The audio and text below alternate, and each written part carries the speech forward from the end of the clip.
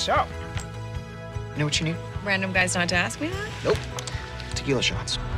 I am not looking to go through the Wendy's drive thru on foot tonight.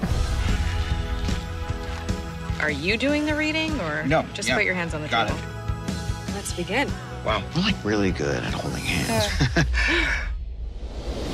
You will fall in love. It'll be a wedding. It's gonna be unlike anything you've ever experienced. You okay? Excuse me.